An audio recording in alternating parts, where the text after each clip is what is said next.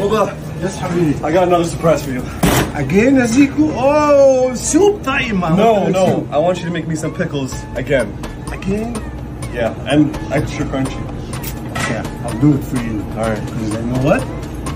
Egyptian magician. ابوس ايدك اكتب له روشته انا جوايا حته نضيفه خدها You guys know the drill? Let's do the brine and then cut the vegetables. بقلعها زي ما بقلع الجاكيت تتابع حب محدش نفعني قفلت الدكان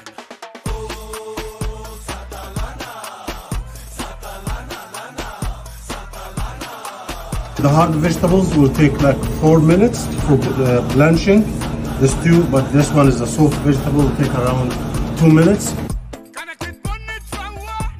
For two minutes, and then we'll add the pepper only for one minute.